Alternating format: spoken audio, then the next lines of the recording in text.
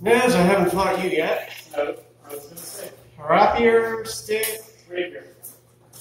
single sword, or sword and dagger? Dealer choice. Ah, I can't remember this. Uh, single sword, I guess. Yeah. Actually, sword and dagger. Sword and dagger. for a dagger?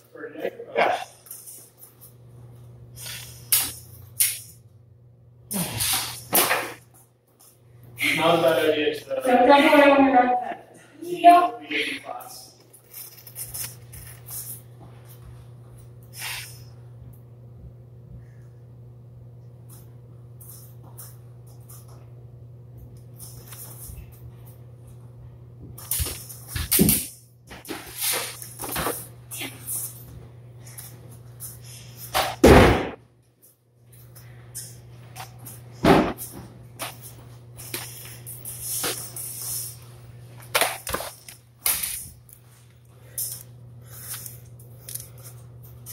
How does work treat you these days? You doing it from home or?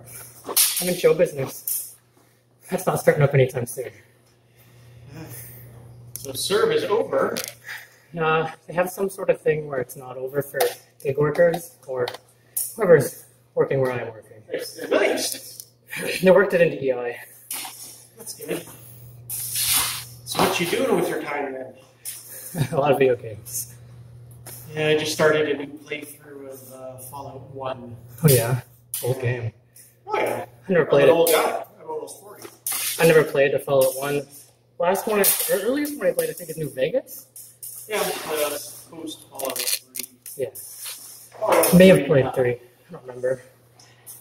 Uh, New Vegas was one of the best of the new ones. That's what I hear. Buggy as it was. That's Bethesda for you. Well, actually, New Vegas wasn't Bethesda. Oh really? No, it was a different company. That's why it was good. They were forced to use Bethesda's engine. That's why it was buggy. Uh, well, that company went on to do uh, the Outer Worlds. Yeah. Yeah, well, also Bethesda was pressuring the companies. They didn't have as much time to do testing and bug fixes as they wanted. Yeah. So what are you playing? I'm playing a lot of Among Us lately in Pavlov VR. Have you looked at your Among Us with the with the guys in Blood and Iron. Yeah. Yeah. Yeah, Naz was trying to get me to play that the other day. Eh, maybe. It is free to play, right? Y- n- On your phone it is.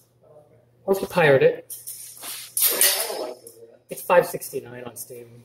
Uh, I just bought it. Off. Yeah. I'm still working in these. Uh, I, I paid like two fifty to remove the ads, and it's well worth the two fifty. I think on the phone. If you play it on the phone free, you won't get ads if you're playing it with somebody who paid for any version of it. Oh, I didn't know that.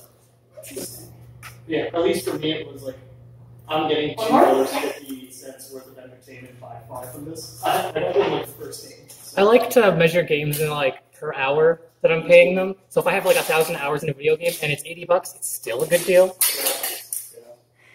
Uh, I paid 22 bucks for uh, Yeah. Long Arc, and I have like 600 hours in it. I'm like, that's less than 10 cents an hour. You got your money's worth. I'm doing good. the game I've